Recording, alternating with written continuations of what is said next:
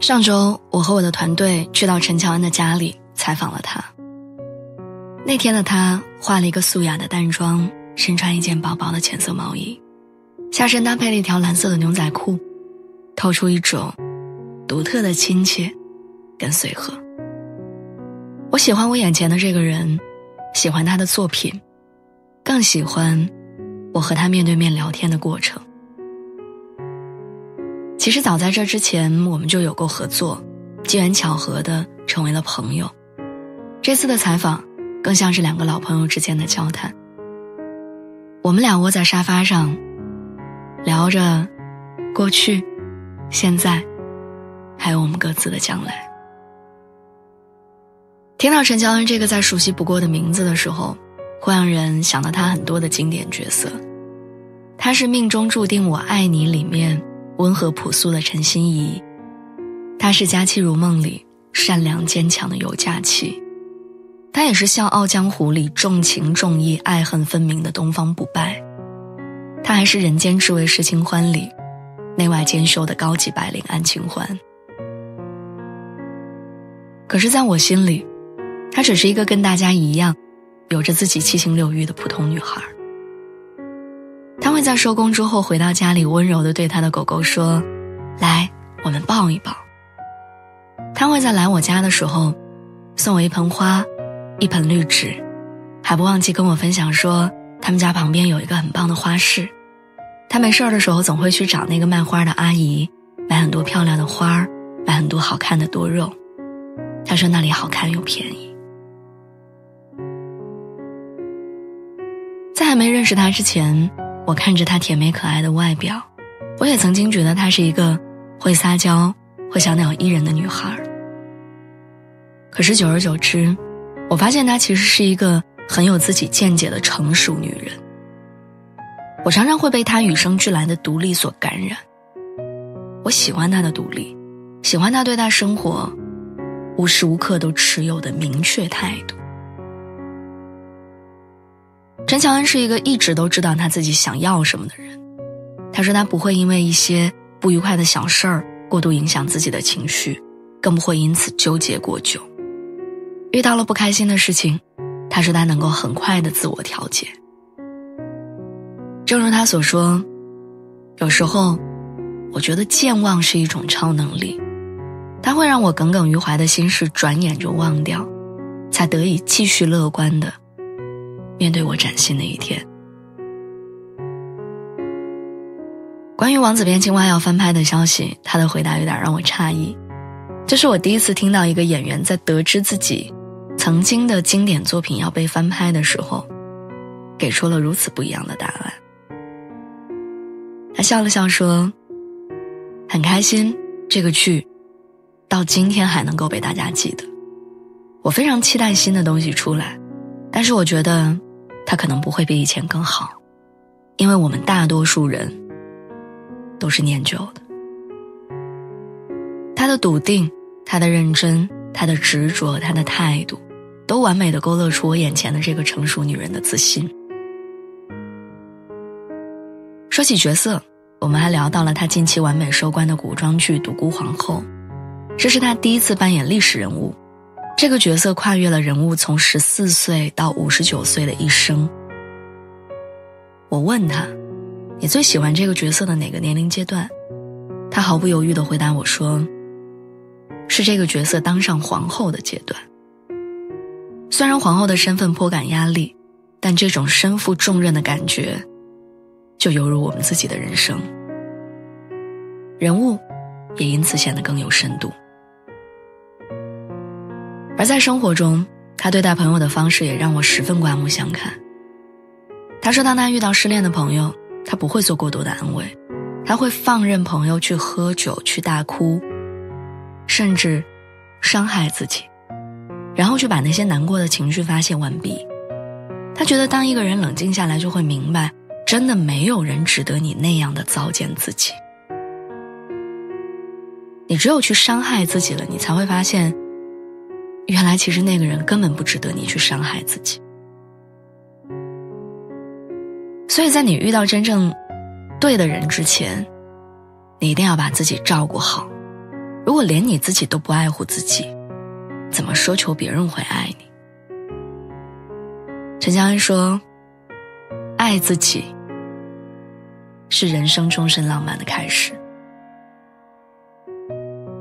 我好奇的问他：“你怎么看待女生追求男生这件事儿？如果非要做出一个选择，你会选择爱你的人，还是你爱的人？”他笑了笑，对这样的问题表示很感兴趣，然后认真的跟我分享他自己的想法。他说：“人生很短，我希望我们都能和自己爱的人在一起。所以，如果在爱我的人和我爱的人之间选，我选我爱的人。如果我不爱他的话，其实我根本感受不到他对我的爱，即使他很爱我。如果我们能够遇到一个自己很喜欢的人。”千万不要觉得女生先表明心意这件事情很掉价，也不要觉得先说出口的人就输了。因为在爱情面前，这些都很幼稚。我的答案和他一样，我在爱我的人和我爱的人里面，会选择我爱的人，因为只有爱，才能让我感知到更多的爱。没错。每个人都有追求自己幸福的权利，可遗憾的是，这个世界上有很多的爱，它都是不够完美的。也正是因为那些爱而不得的事情数不胜数，两个人能真心相爱并且走到一起，才显得格外珍贵。关于感情，我们还聊到了女性在婚后或者说怀孕后，丈夫却出轨了的问题。很多女人会因为考虑自己的孩子或者家庭而做出让步，选择原谅，对丈夫的出轨睁一只眼闭一只眼。每次听到这样的消息，我都会特别难过。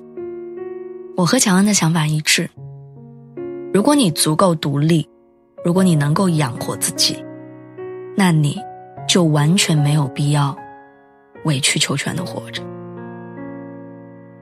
甚至还有很多人因为害怕婚后的生活不幸福而恐惧婚姻。可是换个角度想想，就像陈佳恩她跟我说的，作为一个女人，你只有经历完生儿育女，你的人生才得以完整。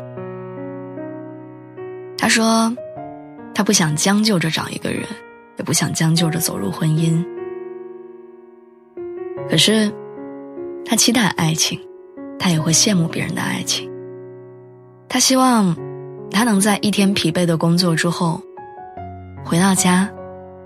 那个家里也许很小，那个家里没有什么东西，可是那个家里有一盏灯，沙发上有一个人。然后他看着那个人，就会觉得，啊，我今天的累都不算什么。所以，即使到今天。他依然保持着他的独立，也依然保持着他内心纯洁的对于爱情的向往。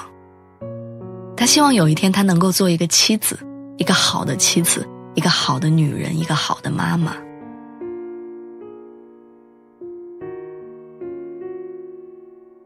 陈乔恩告诉我，只有你足够爱你自己，不把所有的寄托都放在另一半的身上，你才不会在失去一段感情之后，也失去你自己。